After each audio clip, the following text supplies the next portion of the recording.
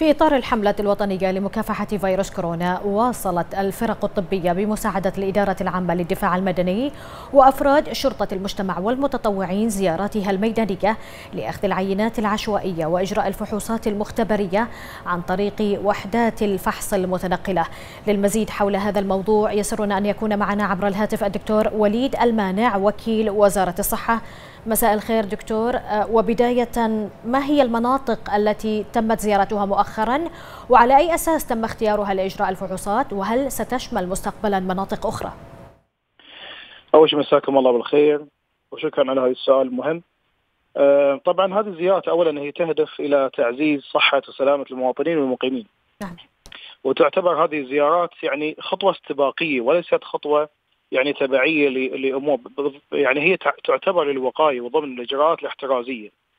شملت الزيارات يعني بردي على سؤالك مؤخرا مساكن الأعمال الوافده في المنامة والحد وراس زويد والعكر والنويدرات والنعيم بكواره سلماباد وعسكر وسترة كما شملت الزيارات السابقة كذلك مجمع 303 مناطق سكن الأعمال الوافده منطقة الحد نعم. منطقة ألبا الصناعية إلى جانب المناطق القريبة من عدد من المستشفيات الخاصة في محافظتي العاصمة والمحافظة.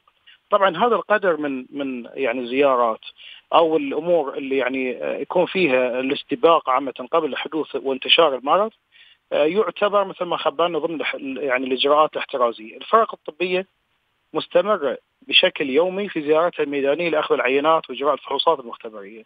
نعم. تواصل كذلك في نفس الوقت اللي إحنا نقوم بدورنا كصحة تواصل إدارة الصحه إدارة الإدارة العامة للدفاع المدني بان هي تقوم بتطهير وتعقيم بعض المناطق.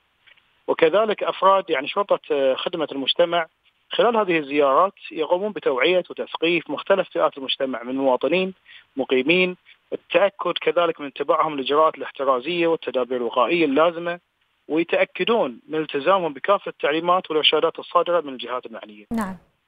نعم دكتور وزارة الداخلية أعلنت عن تهيئة عدد من المدارس في محافظة محافظات المملكة المختلفة لتكون سكنا مؤقتا لهذه العمالة الوافدة. ما هي الاستعدادات الطبية لهذه الخطوة؟ وهل سيخضع العمال للفحص قبل تسكينهم؟ إي نعم. طبعا هذه يعني كثير من المعلومات وردت للناس وظنوا أن الهدف من هذه يعني من هذه خلينا نقول العملية هو أن نعزل أو نحجر عامة الناس المصابين وتكونوا في المدارس. لا القصد اولا من هذا العمل هو تخفيف كثافة هذه العمالة، يعني بعض المساكن العمالة قد تكون قد تكون غير مهيئة أو إن فيها بعض المعايير غير غير اللي هي المطلوبة. فك ك يعني القصد من ذلك تخفيف كثافة هذه العمالة في وجودهم عامة في المدارس، طبعا إحنا بالنسبة لنا كوزارة صحة لما يكون في هناك رصد بعد الفحص إن هناك في في أي مصابين في عامة في أي مكان في في يعني في كثافة سكانية مثلا عالية وزارة الصحة تقوم بعزل المصابين أو علاجهم والحجر على المخالطين القريبين منهم.